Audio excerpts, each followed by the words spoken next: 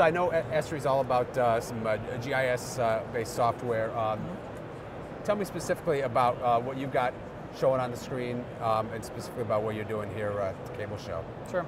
So what Esri does in the telecommunications space is to help uh, our telecom service providers really manage their network and run uh, applications across their enterprise. So what we're showing here is an application designed to figure out, uh, help them figure out if a customer calls in, what services they could offer, um, and what, what it would take to extend a network to serve a particular customer.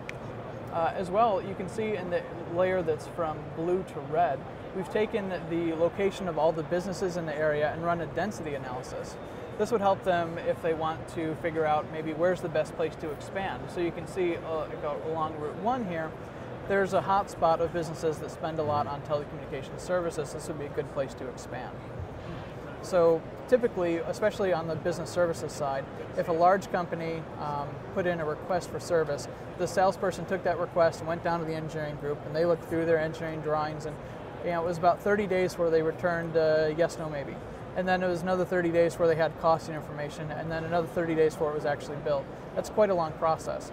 This tool can at least help you um, reduce the first 30 days and possibly even give you the cost information that would help you make it through the, the next cycle there um, and help the help the customer make a, an easier decision about if you know if they want to go with your company for telecom services or go with a competitor. Is this the type of uh, software that, uh, for instance, a, a, utility company could leverage to uh, better understand how its uh, how its electric grid has been built and, and uh, how, where it can improve? Yeah, absolutely. We have. Um, we're actually very prevalently, heavily used in the uh, utility industry um, to do everything from map out where is our network infrastructure to run analysis that says, you know, if there's, for instance, a storm approaching, uh, and we know that uh, the storm is going to flood a certain area, and we have older equipment in that area that's more likely to break down. We can run an analysis to say, um, you know, where are the places of points of failure most likely to be? Where can our crews be ready to go in and fix those points? That sort of thing.